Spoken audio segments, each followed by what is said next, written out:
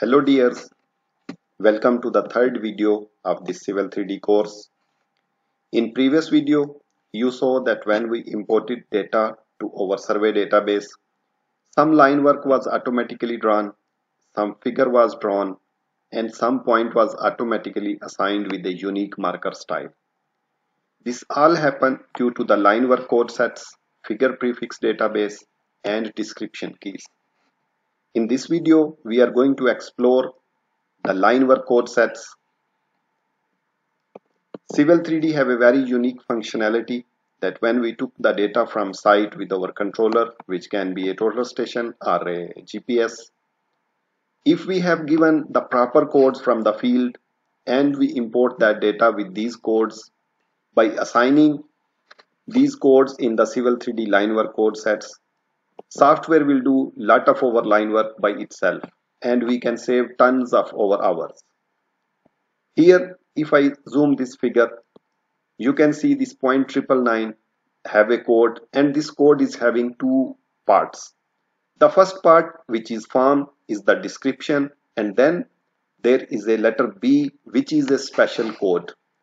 These special codes tell the software either to start a line to continue a line or end the line. Now, when we imported this data, this B tell the software that line is starting from here. How it tell to the software? To understand this, we need to open our line work code sets. From our tool space, we will go to the survey tab. From survey tab, our survey database is already opened if it is not opened, such as I close this one, just right click here and select from here open for edit. Once you open for edit, you will see many functions there. Here in the end, there is the option line work code sets. If we expand here, there's right so far, it's only one there because we haven't created anyone. If you want to create new one, just right click and click on the new.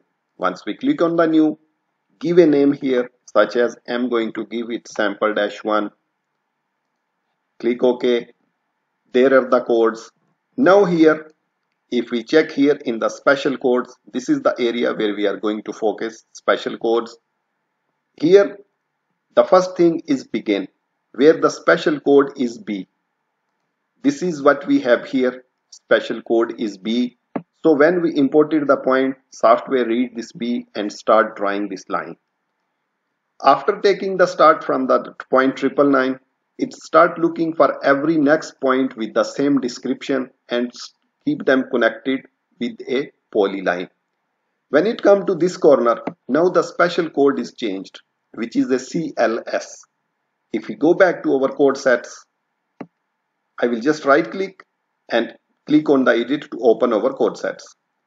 Here, if you can see, the fourth option is close and the special code is CLS. So whenever software find this code CLS, it take this point and take it back to the starting point to make it a close figures. There are some other codes. If we want to continue, we are using C. If we want to end a line, we will use E. And we have the choice to edit these codes. If I want to edit, I will just click and I can type whatever I want here. These are the defaults of Civil 3D. We can update them according to our needs. Then in the second half, there are some for the line segment codes. Recall a point. If we want to use a point for the two different direction or two different uh, objects, we can use code RPN. There is a connect point CPN. Then there are some code for the curves beginning of curve which is BC also we have a privilege to change them here. If we want to make it I can make it a PC whatever we want we can do the changes here. I'm going to keep same BC end of curve EC circle or on curve. I'm going to close this one.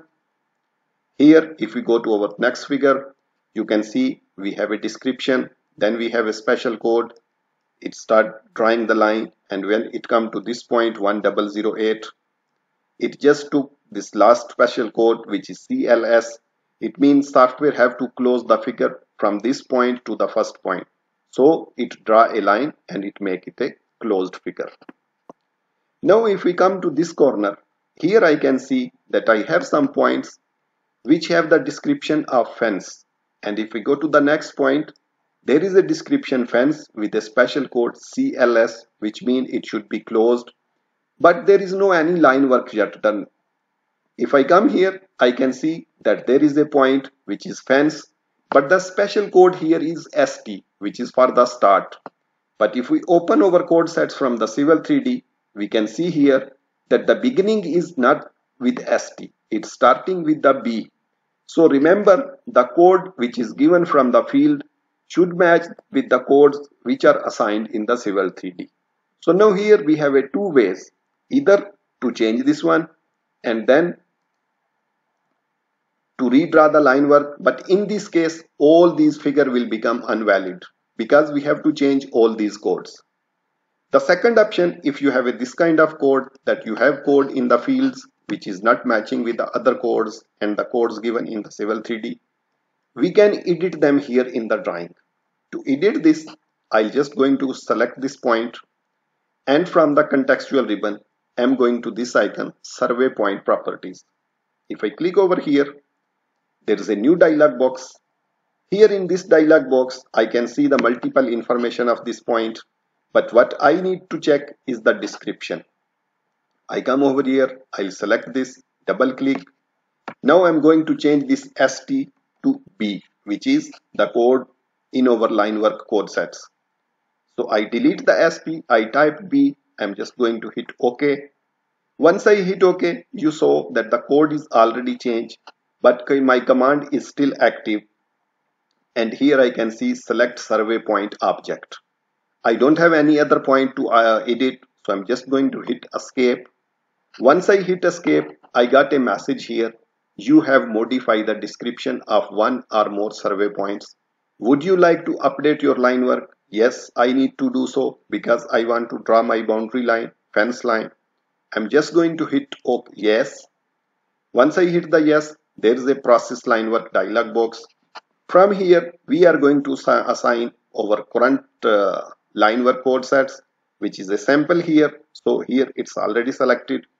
So far we have only one. If you have more than one, you can just click here and choose the right one from the list. So it's okay, sample, that's fine. We are just going to click OK. Our line work has drawn and you can see now there is a unique boundary line is drawn.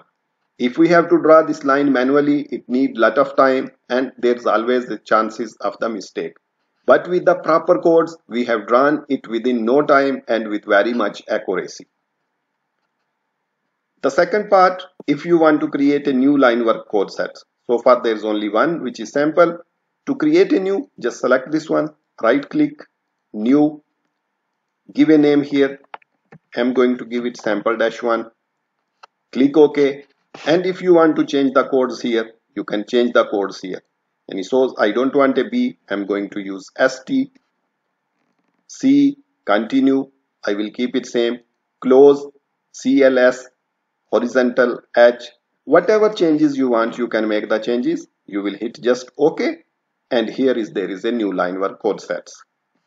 There are two code sets. You can see one of them is bold and highlighted in the black but the second one is not highlighted this highlight show that this is the current one which is in the used. If you want to change, you want to this one correct, the current uh, code sets, just double click. OK. And make current. Select right click and make current. Now you can see that this is highlighted in the black and bold, but this is the dimmed one. So now it's showing that this is the one which is the current line work code sets we are not using this one. We are using the sample. So i'm going to make it current and that's it. In our next video we will talk about the figure prefix database that how these figures are drawn and why these lines are just a simple white lines. So till next video goodbye. See you